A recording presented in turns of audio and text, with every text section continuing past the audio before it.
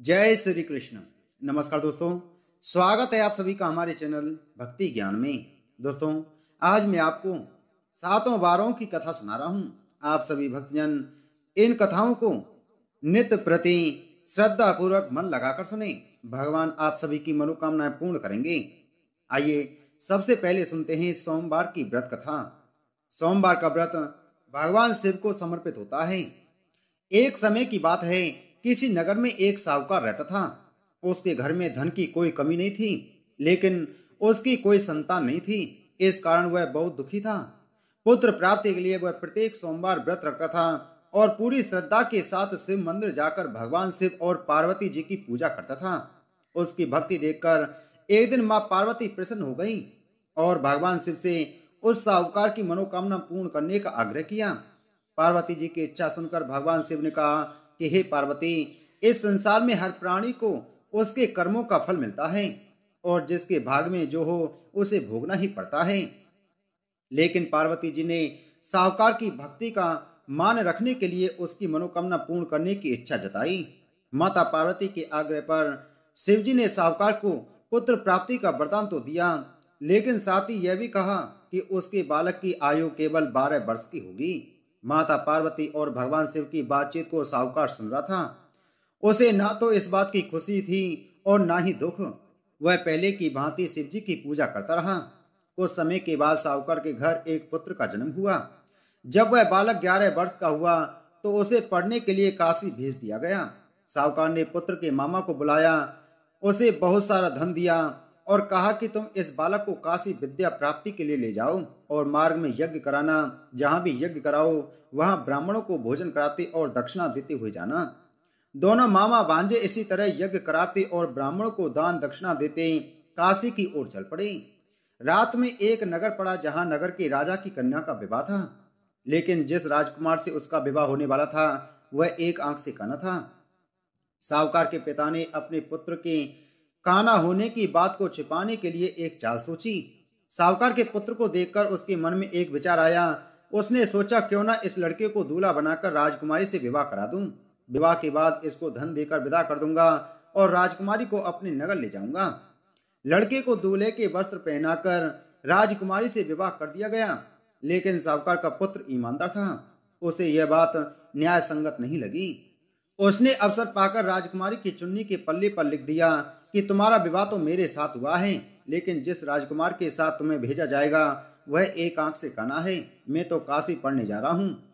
जब राजकुमारी ने चुन्नी पर लिखी बातें पढ़ी तो उसने अपने माता पिता को यह बात बताई राजा ने अपनी पुत्री को विदा नहीं किया जिससे बारात वापस चली गई। दूसरी ओर साहूकार का लड़का और मा, उसका मामा काशी पहुँचे और वहाँ जाकर उन्होंने यज्ञ किया। जिस दिन लड़के की आयु बारह साल की हुई उसी दिन यज्ञ रखा गया।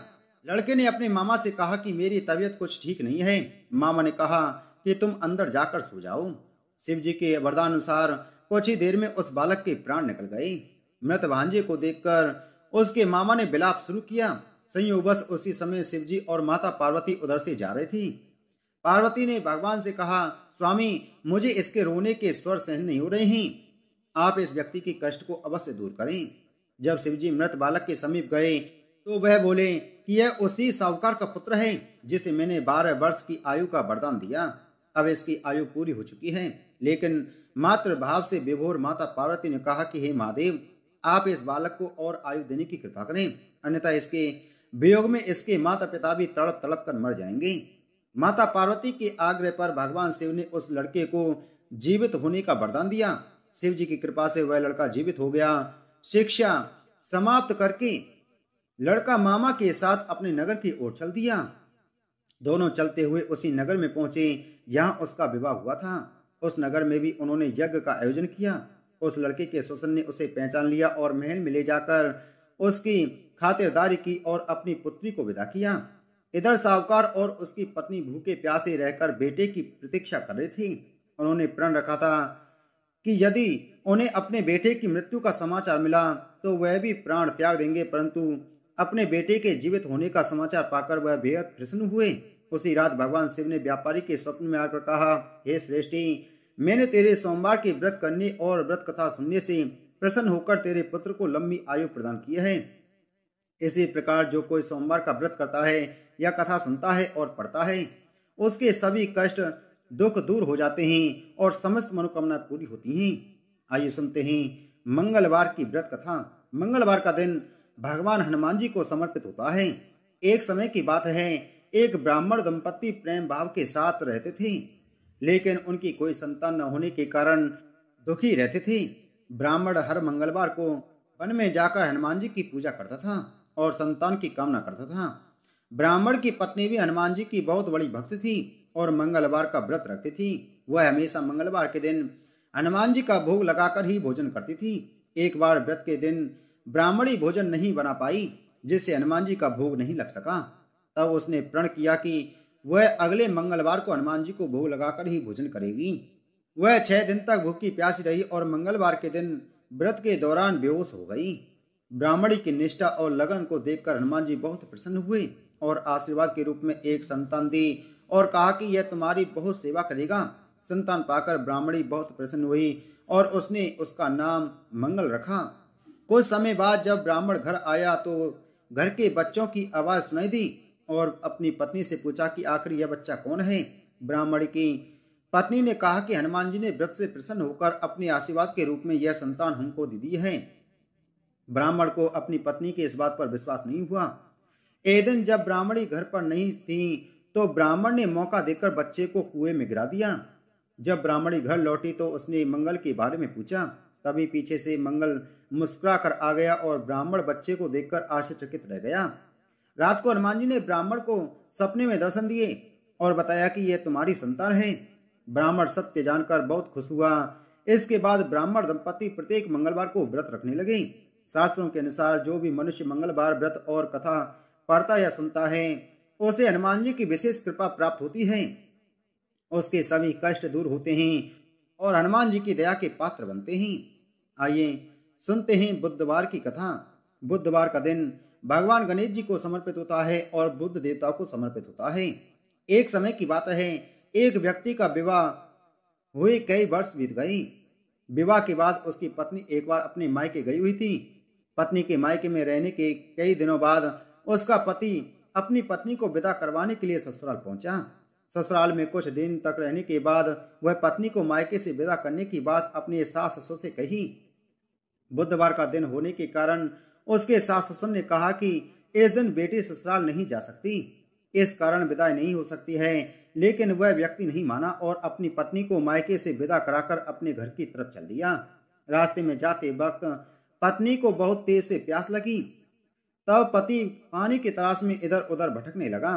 काफ़ी देर के बाद जब वह पानी लेकर वापस लौटा तो उसने देखा कि पत्नी के पास उसी की वेशभूषा में कोई अन्य व्यक्ति पत्नी के संग बैठकर बातें करता हुआ दिखाई दिया। दोनों व्यक्ति आपस में लड़ने लगे। पहले व्यक्ति ने गुस्से में दूसरे व्यक्ति से पूछा कि वह कौन है और क्यों उसकी पत्नी के साथ बैठकर बातें कर रहा है। फिर आपस में लड़ने लगे। दूसरे व्यक्ति ने कहा कि यह मेरी पत्नी है। दोनों के बीच भयानक लड़ाई होने लगी। तब वहाँ पर कुछ सिपाही आ गए और स्त्री से उसके असली पति के बारे में पूछने लगे। दोनों व्यक्ति को देखकर स्त्री हैरान हो गई कि कौन मेरा पति है? वह दुविधा में पड़ गई, क्योंकि दोनों एक जैसे ही लग रहे थे। तब पहला व्यक्ति परेशान होकर मन में कहा कि, भगवान, ये आपकी कैसी लीला है?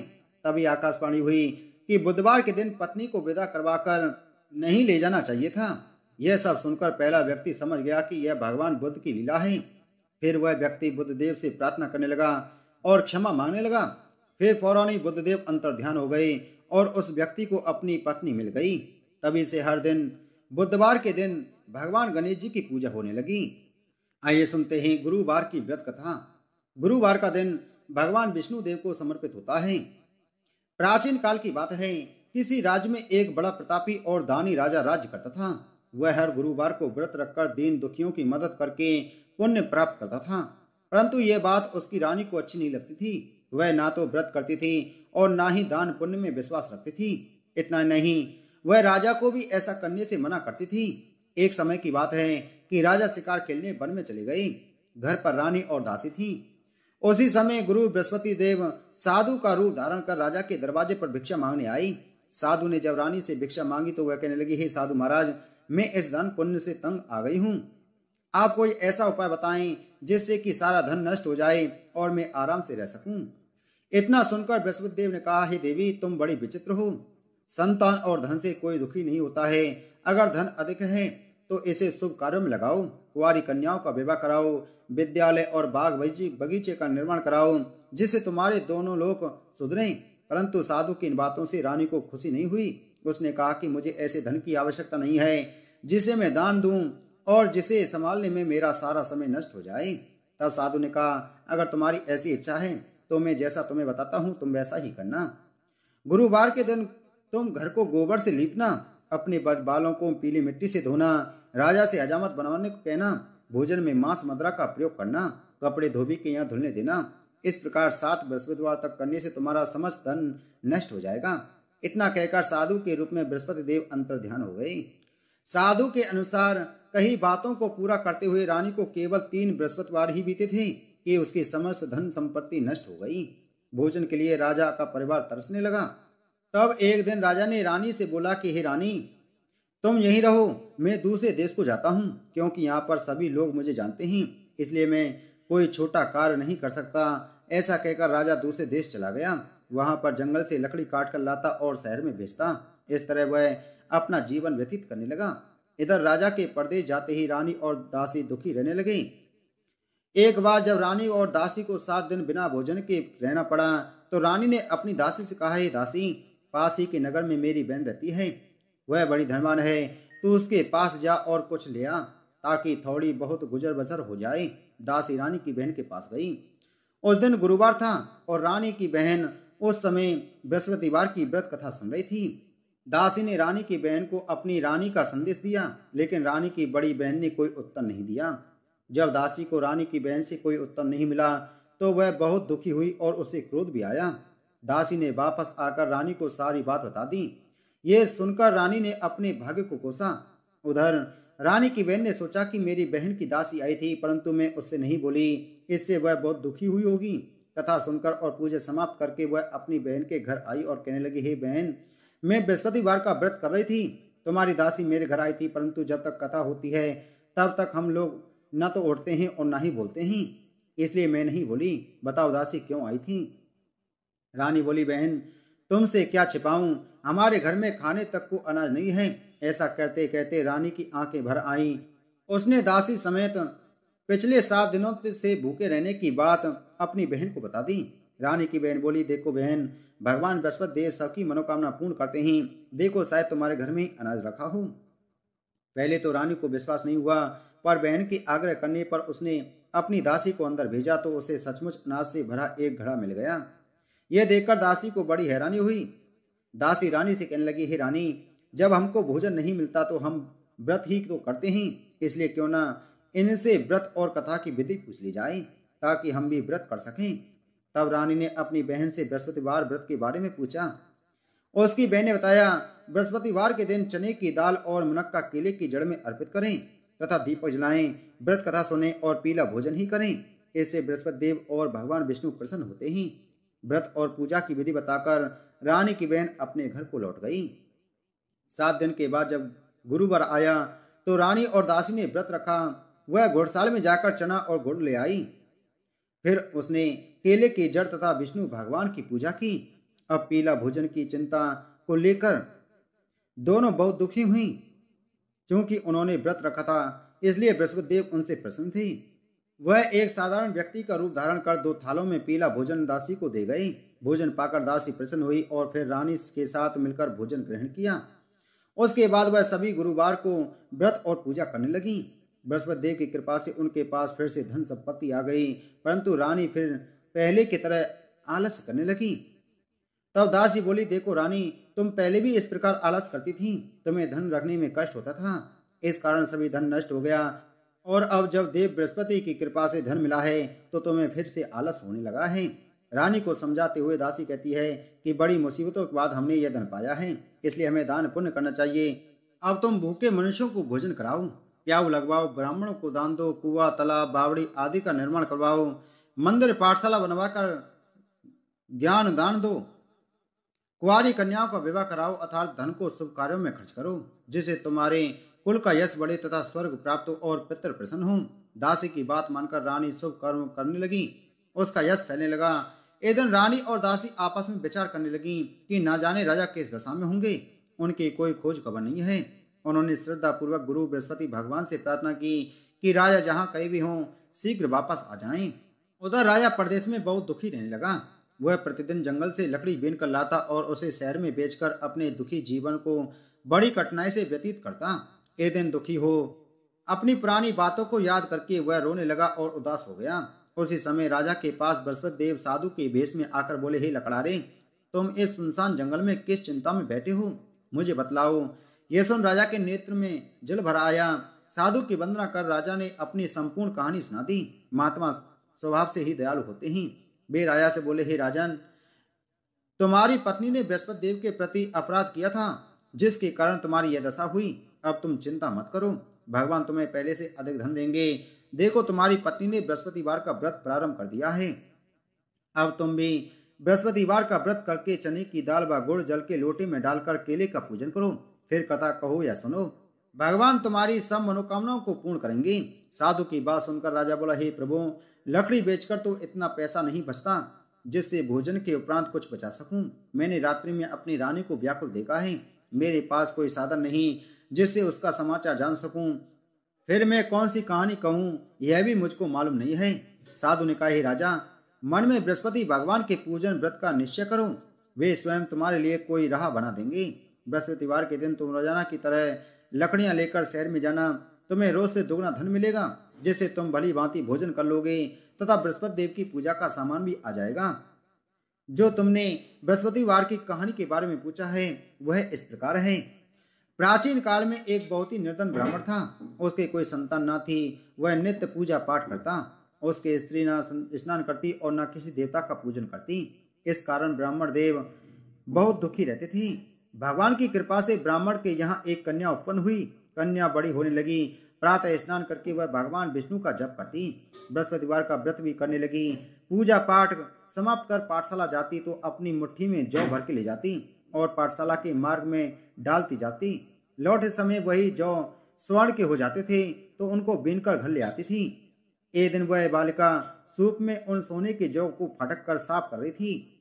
फिर तभी उसकी माँ ने देखा और कहा, हे बेटी, सोने के जौ फटकने के लिए तो सोने का सूप ही होना चाहिए। दूसरे दिन गुरुवार था। कन्या ने व्रत रखा और बृहस्पति देव से सोने का सूप देने की प्रार्थना की।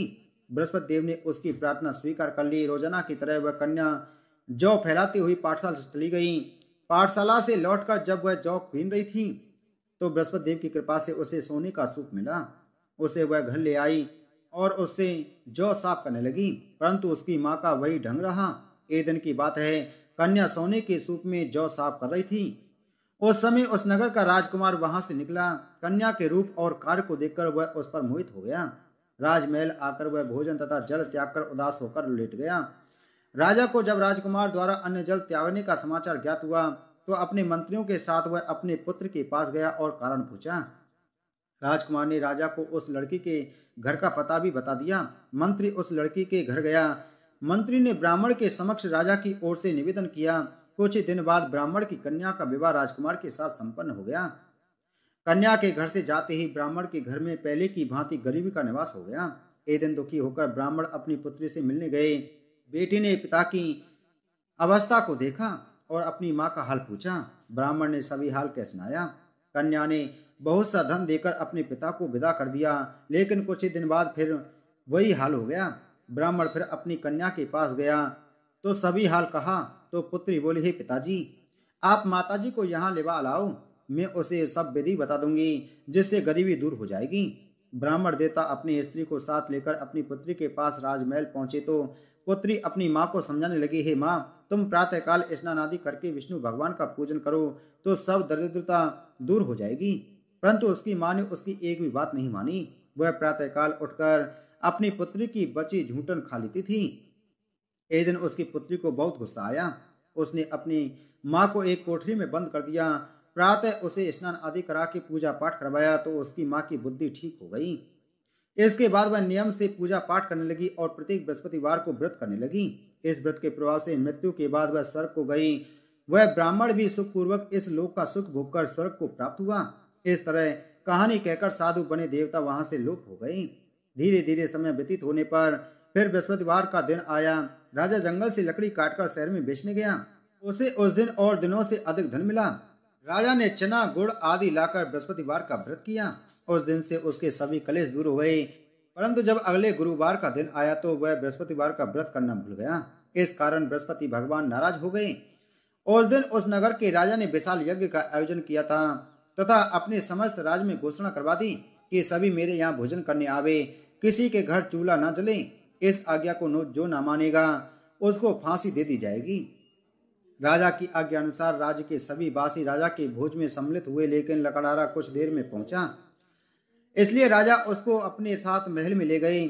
जब राजा लकड़ारे को भोजन करा रहे थे तो रानी की दृष्टि उस खूंटी पर पड़ी, जिस पर उसका हार लटका हुआ था।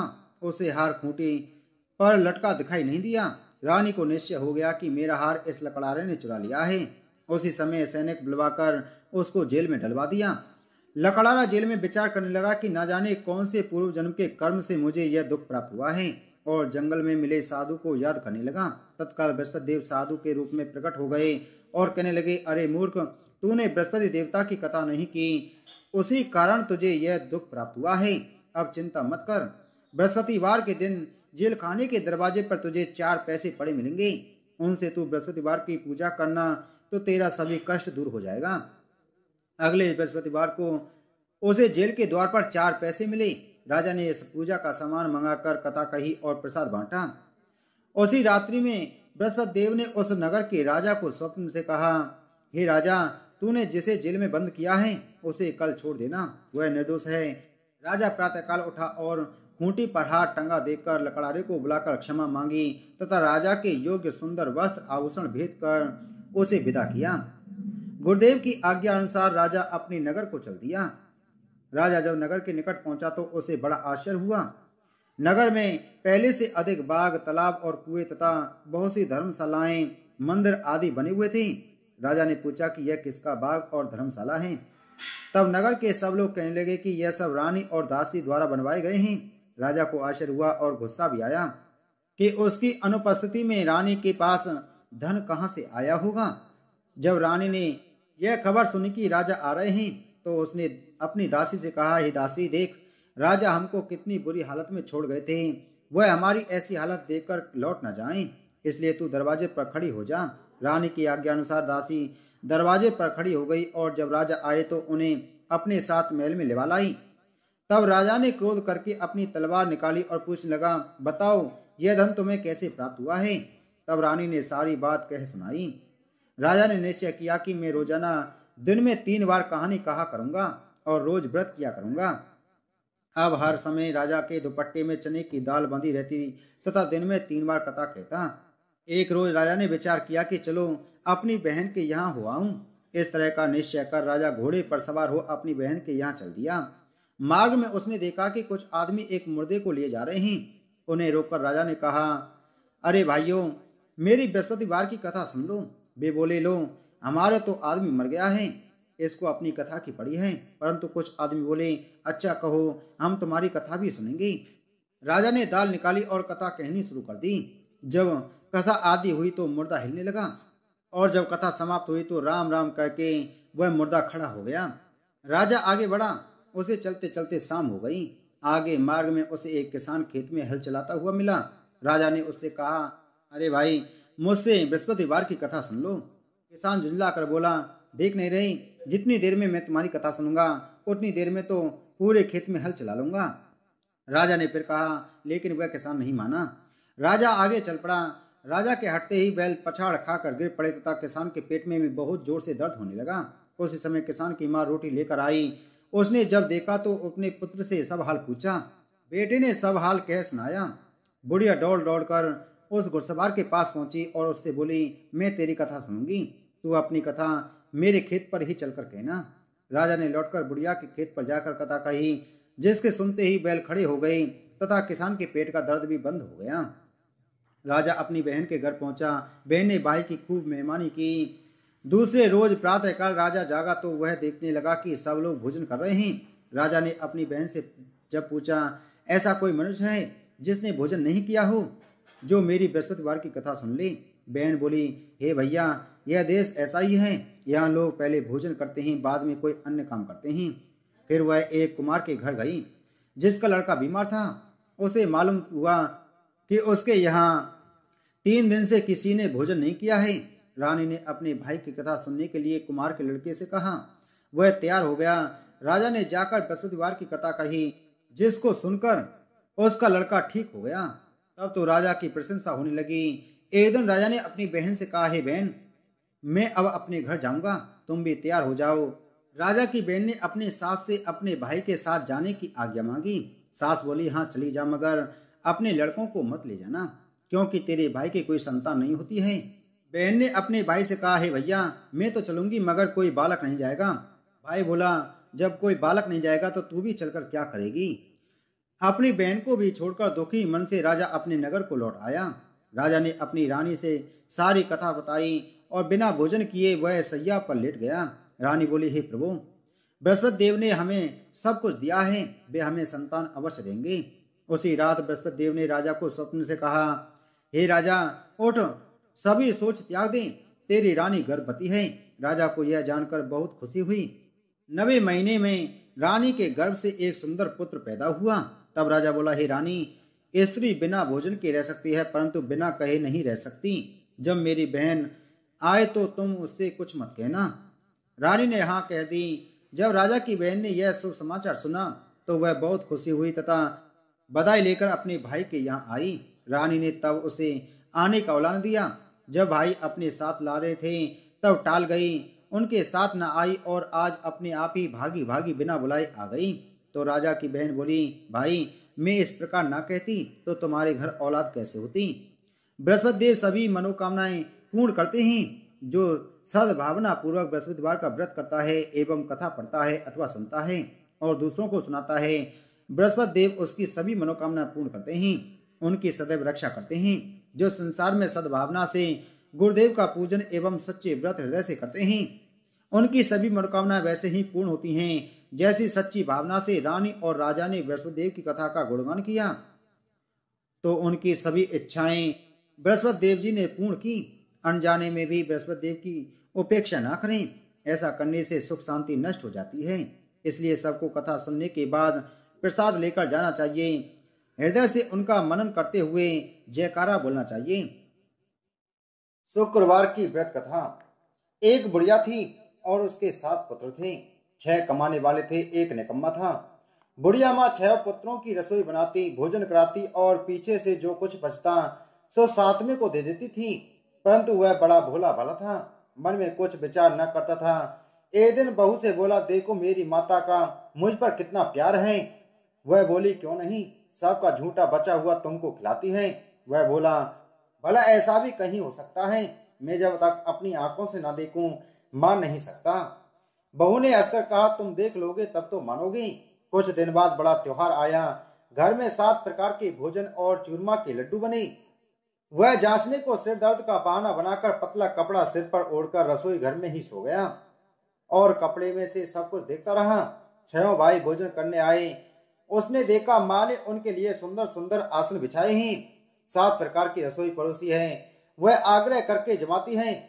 वह देखता रहा जब छो भाई भोजन कर उठी, तब माता ने उनकी झूठी तालियों में से लड्डुओं के टुकड़ों को उठाया और एक लड्डू बनाया। झूठन साफ़ कर बुढ़िया माँ ने पुकारा, उठो बेटा छह भाई भोजन कर गए, अब तू ही बाकी है, उठना कब खाएगा? वह कहने लगा, माँ, मुझे भोजन नहीं करना, मैं परदेश जा रहा हूँ। माता ने कहा, कल जाता हो तो आज ही चले जा।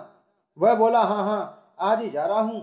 यह कहकर वह घर से निकल गया। चलते समय बहू की याद आई। वह गौशाला में उपले थाप रही थी। वही जाकर उससे बोला, हम जामे परदेश को आवेंगे कुछ काल।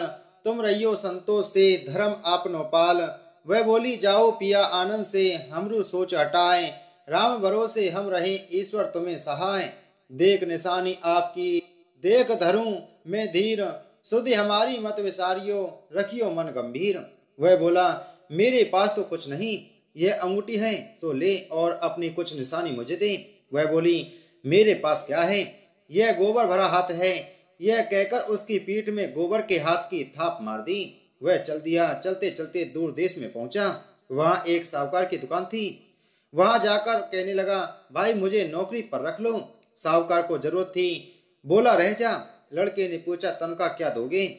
साहूकार ने कहा, काम देखकर दाम मिलेंगे। साहूकार की नौकरी मिली। वह सवेरे सात बजे से रात तक नौकरी बजाने लगा। कुछ दिनों में सब दुकान का सारा लेन देन हिसाब किताब, ग्राहकों को माल बेचना, सारा काम करने लगा। साहूकार के साथ आठ नौकर थे। वे सब चक्कर खाने लगे कि यह तो बहुत होशियार बन गया है। सेठ ने भी काम देखा और तीन महीने में उसे आधे का साझेदार बना लिया। वह बारह वर्ष में ही नामी सेठ बन गया और मालिक सारा कारोबार उस पर छोड़कर बाहर चला गया। अब बहू पर क्या बीतती सो सुनो। सास ससुर उसे दुख देने लगे। सारी गृहस्थी का काम करके उसे लकड़ी लेने जंगल में भेजते। इस बीच घर की रोटियों के आटे से जो भूसी निकलती, उसकी रोटी बनाकर रख दी जाती और फूटे। नारियल के खोपड़े में पानी इस तरह दिन बीतते रहे। एक दिन वह लकड़ी लेने जा रही थी कि रास्ते में बहुत सी स्त्रियाँ संतोषी माता का व्रत करती दिखाई दी। वह वहाँ खड़ी होकर कथा सुनकर बोली, बहनों यह तुम किस देवता का व्रत करती हो और इसके करने से क्या फल मिलता है? इस व्रत के करने की क्या विधि है? यदि तुम अपने व्रत का विधान मुझे समझा कर कहोगी तो मैं तुम्हारा एहसान मानूँगी। तब उनमें से एक स्त्री बोली, सुनो, यह संतोषी माता का व्रत है। इसके करने से निर्धनता, दरिद्रता का नाश होता है और लक्ष्मी आती है। मन की चिंताएँ दूर होती हैं। घर में सुख होने से मन को प्रसन्नता और शांति मिलती है। निपुत्र को पुत्र मिलता है। प्रीतम बाहर हो तो जल्दी आता है। कुआरी कन्या को मन पसंद वर मिले। राजद्वारे में बहुत दिनों से मुकदमा चलता हो तो खत्म हो जाए। सब तरह सुख शांति हो। घर में धन जमा हो। पैसा जायदाद का लाभ हो। रोग दूर हो जाए। तथा मन में जो कुछ कामना हो वे सब इस संतोषी माता की कृपा से पूरी हो जाएँ। इसमें संदेह नहीं। वह पूछने लगी, यह व्रत कैसे किया जाए? यह भी बताओ तो बड़ी कृपा होगी। स्त्री कहने लगी सवा रुपए का गुड़ व चना लेना, इच्छा हो तो सवा पाँच रुपए का लेना, या सवा ग्यारह रुपए का भी सहूलियत के अनुसार लेना। बिना परेशानी, श्रद्धा और प्रेम से जितना बन सके सवाया लेना। हर शुक्रवार को निराहार रहकर कथा कहना, सुनना, इसके बीच क्रम टूटे नहीं। लगातार नियम पालन करना।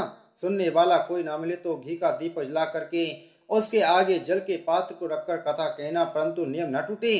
जब तक कार्य सिद्ध न हो नियम पालन करना और कार्य सिद्ध हो जाने पर ही व्रत का उद्यापन करना।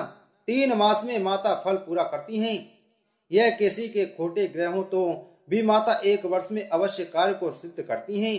कार्य सिद्ध होने पर ही उद्यापन करना चाहिए। बीच में नहीं, उद्यापन में अढ़ाई से आटे का खाजा और इसी परिणाम में खीर तथा चने का साग करना। आठ लड़कों को भोजन कराना, जहाँ तक मिले देवर, जेठ, भाई, बंधु कुटुम्ब के लड़के लेना, ना मिले तो रिश्तेदार और पड़ोसियों के लड़के बुलाना, उन्हें भोजन कराना, यथाशक्ति दक्षिणा दे देना, माता का नियम पूरा करना। उस दिन घर में कोई खटाई ना खाई, यह सुनकर बुढ़िया के लड़के की बहु चल दी, रास्ते में लकड़ी के बोझ को बेच दिया और उन पैसों से गुड़ और चना ले। माता के व्रत की तैयारी कर आगे चली और सामने मंदिर देख पूछने लगी, यह मंदिर किसका है? सब कहने लगे, संतोषी माता का मंदिर है। यह सुन माता के मंदिर में जा माता के चरणों में लौटने लगी। दिन होकर विनती करने लगी, माँ, मैं निपट मूर्ख हूँ। व्रत के नियम कुछ नहीं जानती। मैं बहुत दुखी हूँ। ये माता जगत जननी मेरा दुख दूर कर। मैं तेरी शरण में हूँ। माता को दया आई। एक शुक्रवार बीता की दूसरे शुक्रवार को ही इसके पति का पत्र आया और तीसरे को उसका भेजा हुआ पैसा भी आ पहुँचा। यह देखकर जेठानी मुँह सिकोड़ने लगी। इतने दिनों में पैसा आया। इसमें क्या बड़ाई है? लड़के ताने देने लगी। काकी के पास अब पत्र आने लगी। रुपया आने लगा। अब तो काकी की खातिर बढ़ेगी। अब तो काकी बुलाने से भी नहीं आएगी। बेचारी सरलता से कहती, भैया, पत्र आए, रुपया आए तो हम सबके लिए अच्छा है। ऐसा कहकर आँखों में आँसू भरकर संतोषी माता के मंदिर में आ। मातेश्वरी के चरणों में गिरकर रोने लगी। माँ, मैंने तुमसे रुपया पैसा नहीं मांगा। मुझे पैसे से क्या काम है? मुझे तो अपने सुहाग से काम है। मैं तो अपने स्वामी के दर्शन और सेवा मांगती हूँ। तब माता ने प्रसन्न होकर कहा, जा बेटी, तेरा स्वामी आएगा। यह सुनकर वह खुशी से बावली हो घर में जाकर काम करने लगी। अब संतोषी माँ विचार करने लगी, इस भोली पुत्री से मैंने कह तो दिया, तेरा पति आएगा। पर आएगा कहाँ से? वह तो स्वप्न में भी इसे याद नहीं करता।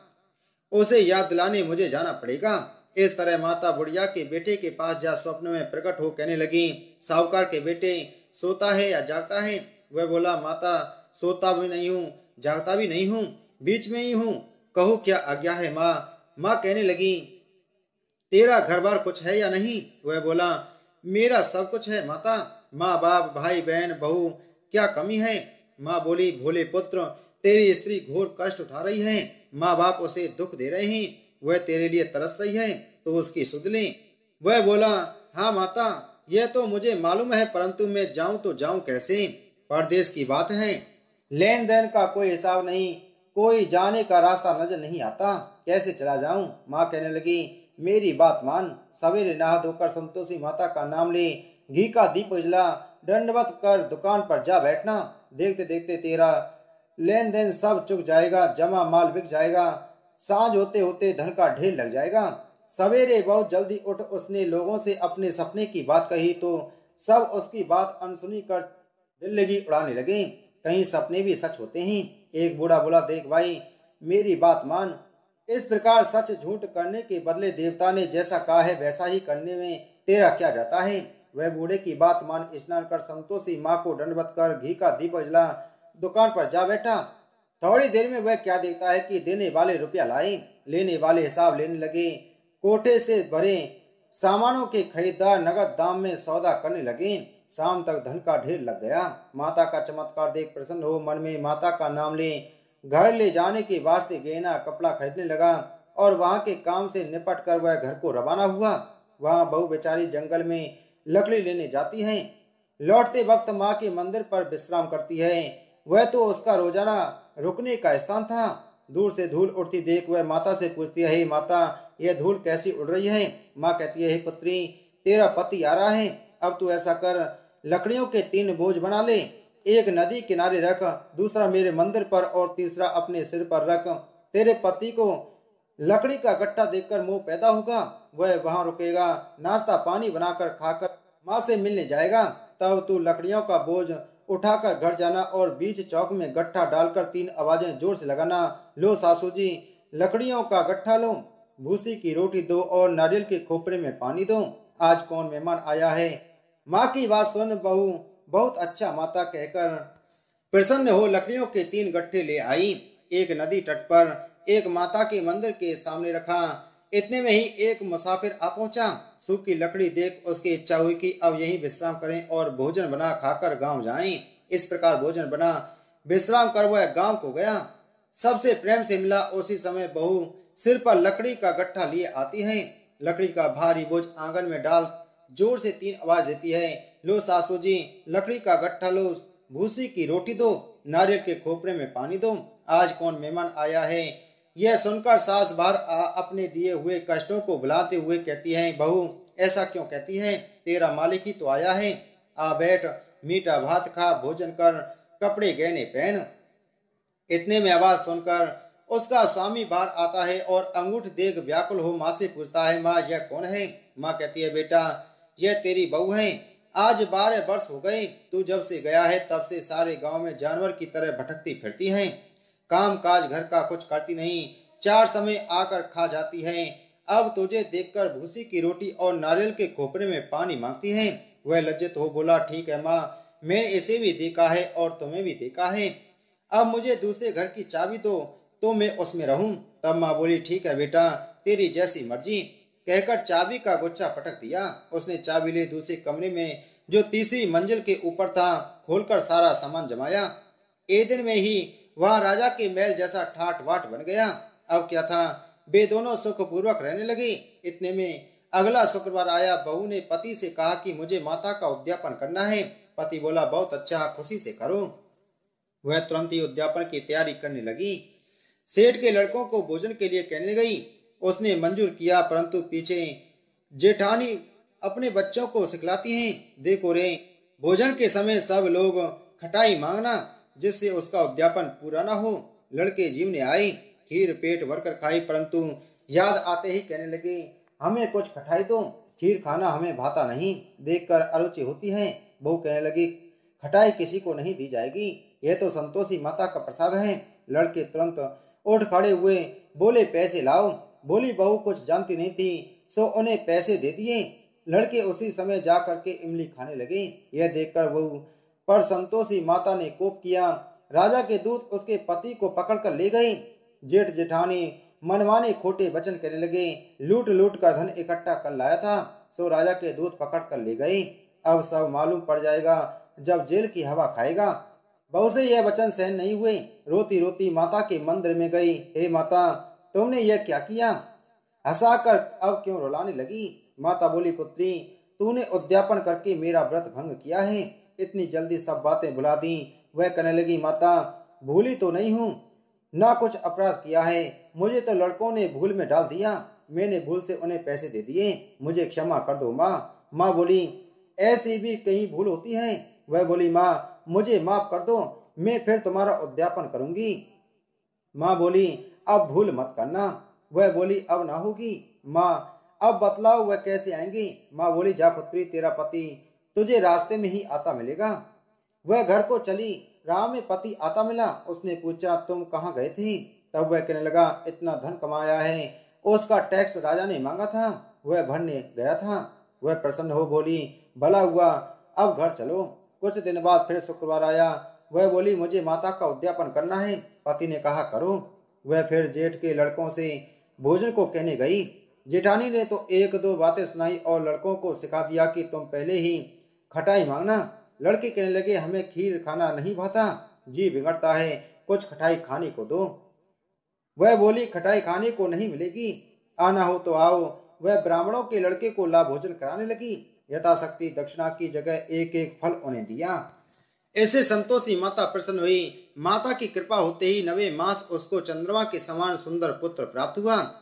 वह पुत्र को लेकर प्रतिदिन माता जी के मंदिर में जाने लगी। माँ ने सोचा कि यह रोज आती है, आज क्यों ना मैं ही इसके घर चलूँ?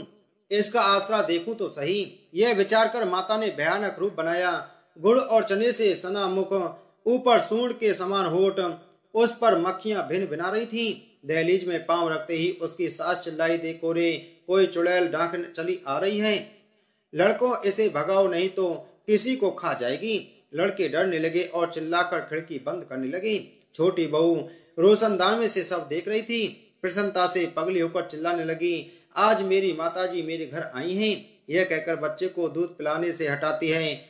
इतने में सास का क्रोध फूट पड़ा। बोली, राण, इसे देखकर कैसी उतावली हुई है जो बच्चे को पटक दिया? इतने में माँ के प्रताप से, जहाँ देखो वहीं लड़के ही लड़के नज़र आने लगे। वह बोली, माँ जी, मैं जिनका व्रत करती हूँ, ये वही संतोषी माता हैं। इतना कहकर झट से सारे घर के किवाड़ खोल दिए सबने माता के चरण पकड़ लिए और विनती कर कहने लगे, हे माता, हम मूर्ख हैं, हम अज्ञानी हैं, पापी हैं। तुम्हारे व्रत की विधि हम नहीं जानते। तुम्हारा व्रत भंग कर हमने बहुत बड़ा अपराध किया है।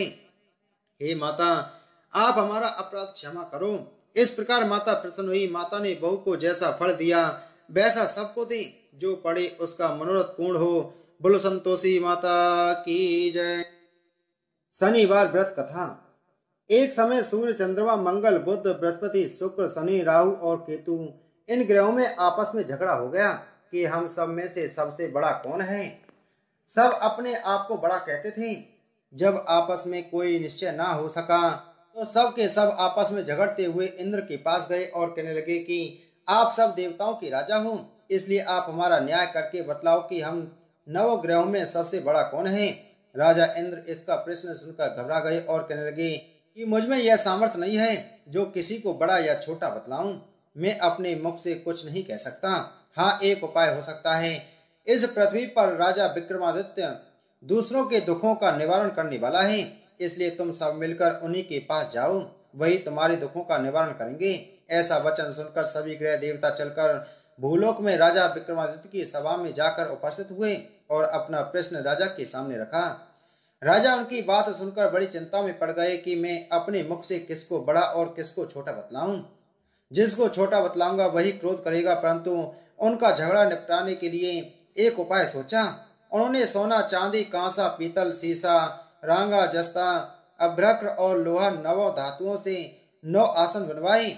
सब आसनों को क्रम से जैसे सोना सबसे पहले और लोहा सबसे पीछे बिछाए गए। इसके पश्चात राजा ने सब ग्रहों से कहा कि आप सब अपने अपने सिंहासन पर बैठिए, जिसका आसन सबसे आगे वह सबसे बड़ा और जिसका आसन सबसे पीछे वह सबसे छोटा जानिए। क्योंकि लोहा सबसे पीछे था और वह शनिदेव का आसन था, इसलिए शनिदेव ने समझ लिया कि राजा ने मुझको सबसे छोटा बना दिया है।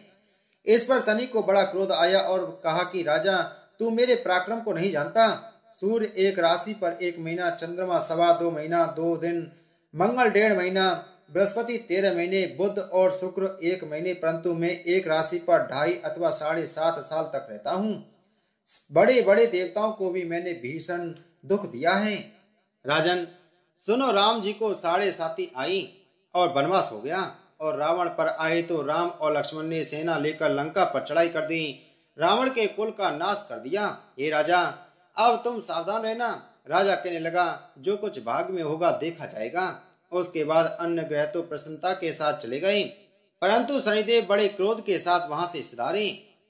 कुछ काल व्यतीत हो जाने पर राजा को साढ़े साथी की दशा आई तो शनिदेव घोड़ों के सौदागर बनकर अनेक सुंदर घोड़ों के साहित राजा की राजधानी में आई जब राजा ने सौदागर के आने की खबर सुनी तो अश्वपाल को अच्छे अच्छे घोड़े खरीदने की आज्ञा दी। अश्वपाल ऐसी अच्छी नस्ल के घोड़े देखकर और उनका मूल्य सुनकर चकित हो गया और तुरंत ही राजा को खबर दी। राजा उन घोड़ों को देखकर एक अच्छा सा घोड़ा चुनकर सवारी के लिए चढ़ा। राजा के घोड़े के पीठ पर चढ़ते ही घोड़ा ज़ोर से भागा। घोड़ा बहुत दूर एक घने जंगल में जाकर राजा को छोड़कर अंतर ध्यान हो गया। इसके बाद राजा अकेला जंगल में भटकता फिरता रहा। बहुत देर के पश्चात राजा ने भूख और प्यास से दुखी होकर भटकते भटकते एक ग्वाले को देखा। ग्वाले ने राजा को प्यास से व्याकुल देखकर पानी पिलाया। राजा की उंगली में एक अंगूठी थी, उसे निकालकर प्रसन्नता के साथ ग्वाले को दे दी और शहर की ओर चल दिया। राजा शहर में पहुंचकर एक सेठ की दुकान पर जाकर बैठ गया और अपने आप को उज्जैन का रहने वाला तथा अपना नाम बीका बतलाया। सेठ ने उसको कुलीन मनुष्य समझकर जल आदि पिलाया। भाग्यवश उस दिन सेठ की दुकान पर बिक्री बहुत अधिक हुई। तब सेठ उसको भाग्यवान पुरुष समझकर भोजन कराने के लिए अपने साथ ले गया। भोजन करते समय राजा ने आश्चर्य की बात देखी कि खूंटी पर हार लटक रहा है और खूंटी उस हार को निगल रही है। भोजन के पश्चात कमरे में आने पर जब सेठ को कमरे में हार न मिला तो सबने यही निश्चय किया कि सिवाय बीका के और कोई इस कमरे में नहीं आया। अतः अवश्य हार उसी ने चोरी किया है। परंतु बीका ने हार लेने से मना कर दिया। इस पर पाँच सात आदमी इकट्ठे होकर उसको फौजदार के पास लाई फौजदार ने उसको राजा के सामने उपस्थित कर दिया और कहा कि ये आदमी तो भला प्रतीत होता है, चोर मालूम नहीं होता। परंतु सेठ का कहना है कि इसके सिवाय और कोई घर में आया ही नहीं। अवश्य ही, इसी ने चोरी की है। तब राजा ने आज्ञा दी कि इसके हाथ पैर काटकर चौरंगिया बन किया जाए। राजा की आज्ञा का तुरंत पालन किया गया और बीका के हाथ पैर काट दिए गए। इस प्रकार कुछ काल व्यतीत होने पर एक तेली उसको अपने घर ले गया और कोलू पर उसको बिठा दिया। बीका उस पर बैठा हुआ ज़ुबान से बैल हाँकता रहा। शनि की दशा समाप्त हो गई और एक रात को वर्षा ऋतु के समय वह मलार राग गाने लगा। उसका गाना सुनकर उस शहर के राजा की कन्या उस राग पर मोहित हो गई और दासी को खबर लेने को भेजा कि शहर में कौन गा रहा है। दासी सारे शहर में फिरती फिरती क्या देखती है कि तेली के घर में चौरंगिया राग गा रहा है। दासी ने महल में आकर राजकुमारी को सब वृतांत सुना दिया। बस उसी क्षण राजकुमारी ने अपने मन में यह प्रण लिया कि चाहे कुछ हो जाए, मैं इस चौरंगिया के साथ विवाह करूँगी।